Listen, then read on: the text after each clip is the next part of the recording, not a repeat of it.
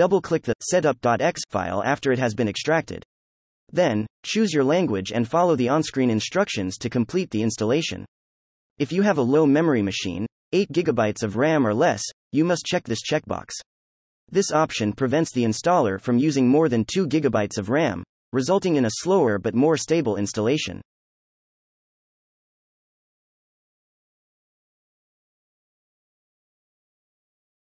Tick all these options if your PC hasn't installed them yet. I've already installed all of this software, so I'll just skip it. The installation takes around 14 minutes to finish on my PCIe 3.0 SSD. Let's launch Luigi's Mansion 3 to check the results. This is the verify bin files before installation.bat program. It showed, OK. Close it and run the game from your desktop shortcut. There are four shortcut icons on your desktop, each representing a different version of emulators.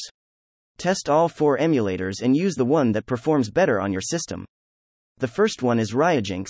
I'm going to try it now. Update to latest version.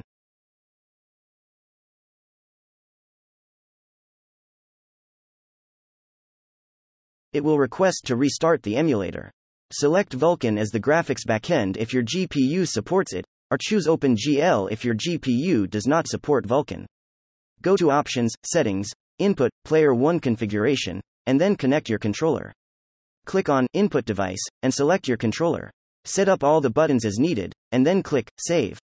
If you wish to set a higher resolution scale, go to the graphics settings, and then click Save to apply all these settings. Now, double click to run the game. It appears that Ryujinx doesn't work on my PC.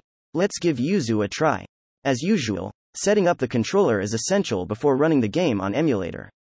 Proceed to Emulation and select Configure. If you'd like, you can go to the graphics settings to set a higher resolution. Choose the controller type you prefer. Then select your input device. The emulator will automatically map your controller buttons. Click OK and right click on the game title to run the game. Double click to full screen.